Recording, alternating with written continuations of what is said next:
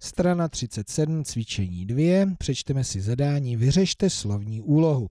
Tak si ji přečtem. Dědeček měl na zahrádce 15 kedluben. Každý den sklidil dvě kedlubny.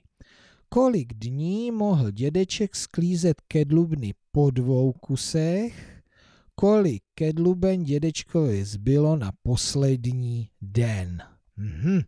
Tak to bych chtělo nejdřív nějaký zápis, takový stručný.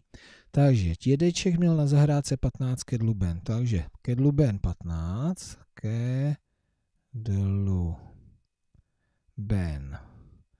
15 a každý den sklidil dvě kedlubny. Takže každý den, každý den a když to bylo každý den stejně, jak to napíšu po dvou a myslím kedlubny.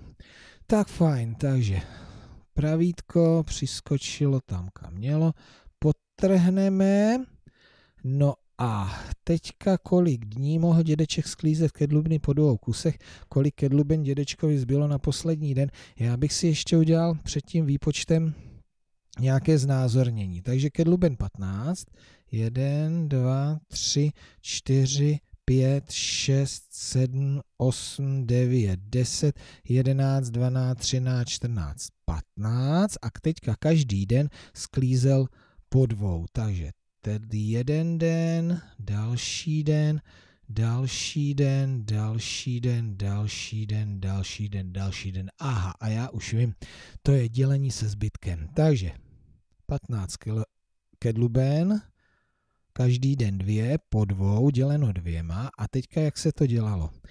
Uh, našli jsme nejbližšího, nejbližší nižší násobek, takže to je tady. To je 14, tady, já si to napíšu sem, děleno dvěma, to se rovná 1, 2, 3, 4, 5, 6, 7, rovná se 7 a tady je ještě jedna navíc. Zbytek jedna. A teďka, abych dobře odpověděl na tu otázku.